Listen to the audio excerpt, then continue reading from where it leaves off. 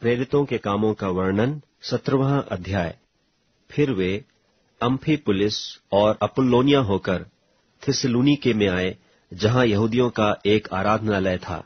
और पौलुस अपनी रीति के अनुसार उनके पास गया और तीन शब्द के दिन पवित्र शास्त्रों से उनके साथ विवाद किया। और उनका अर्थ खोल खोल कर समझाता था कि मसीह को दुख उठाना और मरे हुओं में से जी उठना अवश्य था। और यही यीशु जिसकी मैं तुम्हें कथा सुनाता हूँ, मसीह है। उनमें से कितनों ने और भक्त यूनानियों में से बहुतेरों ने और बहुत सी कुलीन स्त्रियों ने मान लिया और पौलुस और सिलास के साथ मिल गए।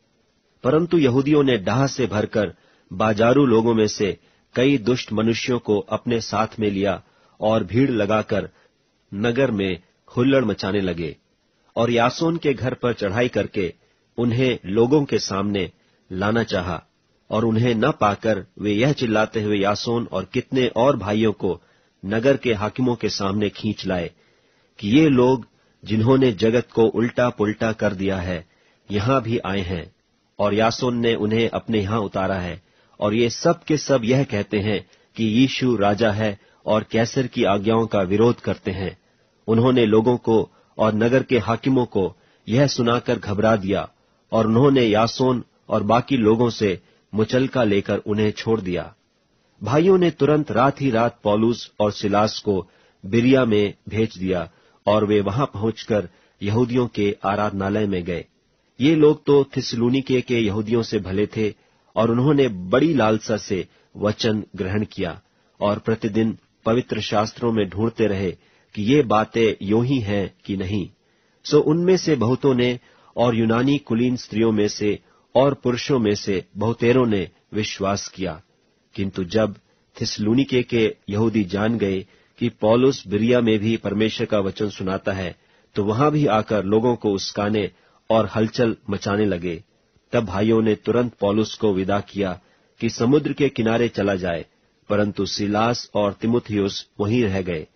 पौलुस के पहुँचाने वाले उसे अथेने तक ले गए और सिलास और तिमुथियुस के लिए यह आज्ञा लेकर विदा हुए कि मेरे पास बहुत शीघ्र आओ। जब पौलुस अथेने में उनकी बाट जो रहा था तो नगर को मूर्तों से भरा हुआ देखकर उसका जी जल गया।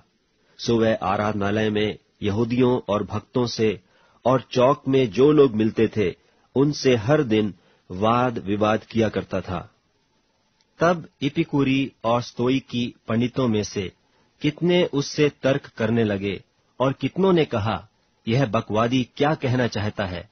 परंतु औरों ने कहा, वह अन्य देवताओं का प्रचारक मालूम पड़ता है, क्योंकि वह यीशु का और पुनरुत्थान का सुसमाचार सुनाता था। तब वे उसे अपने साथ अरियुपगुस पर ले गए और पूछा, क्या हम जान सकते हैं कि यह नया मत जो तू सुनाता है, क्या है? क्योंकि तू अनोखी बातें हमें सुनाता है, इसलिए हम जानना चाहते हैं कि इनका अर्थ क्या है। इसलिए कि सब अथेनवी और परदेशी जो वहाँ रहते थे नई नई बातें कहने और सुनने के सिवाय और किसी काम में समय नहीं बिताते थे।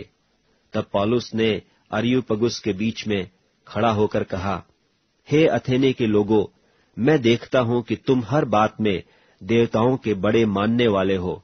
क्योंकि मैं फिरते हुए तुम्हारी पूजने की वस्तुओं को देख रहा था तो एक ऐसी वेदी भी पाई जिस पर लिखा था कि अनजाने ईश्वर के लिए। सो जिसे तुम बिना जाने पूछते हो, मैं तुम्हें उसका समाचार सुनाता हूँ। जिस परमेश्वर ने पृथ्वी और उसकी सब वस्तुओं को बनाया, वह स्वर्ग और पृथ्वी का स्वामी होकर हाथ के बनाए हुए मंदिरों में नहीं रहता, न किसी वस्तु का प्रयोजन रखकर मनुष्यों के हाथों की सेवा लेता है, क्योंकि वह तो आप ही सबको जीवन और श्वास और सब कुछ देता है। उसने एक ही मूल से मनुष्यों की सब जातियाँ सारी पृथ्वी पर रहने के लिए बनाई हैं और उनके ठहराए हुए समय और निवास के सिवानों को इसलिए बांधा है कि वे परमेश्वर को ढूंढें, कदाचित उसे टटोल कर पा जाएँ तो भी वह हम में से किसी से दूर नहीं, क्योंकि हम उसी में जीवित रहते और चलते फिरते और स्थिर रहते हैं, जैसे तुम्हारे कितने कवियों ने भी कहा है कि हम तो उसी के वंश भी हैं। सो परमेश्वर का वंश होकर हमें यह समझना उचित नहीं कि ईश्वरत्व सोने या रूपे या पत्थर के समान है जो मनुष्य की कारीगरी और कल्पना से गढ़े गए हों। इसलिए परमेश्वर अज्ञानता के समयों से आनाकानी करके अब हर जगह सब मनुष्यों को मन फिराने की आज्ञा देता है, क्योंकि उसने एक दिन ठहराया है जिसमें वह उस मनुष्य के द्वारा धर्म से जगत का न्याय करेगा जिसे उसने ठहराया है और उसे मरे हुओं में से जिलाकर यह बात सब पर प्रमाणित कर दी है। मरे हुओं के पुनरुत्थान की बात सुनकर कितने तो ठट्ठा करने लगे और कितनों ने कहा, यह बात हम तुझसे फिर कभी सुनेंगे। इस पर पॉलुस उनके बीच में से निकल गया। परंतु कई एक मनुष्य उसके साथ मिल गए और विश्वास किया, जिनमें दियोनुसियुस अरियुपगी था और दमरिस नाम एक स्त्री थी और उनके साथ और भी कितने लोग थे।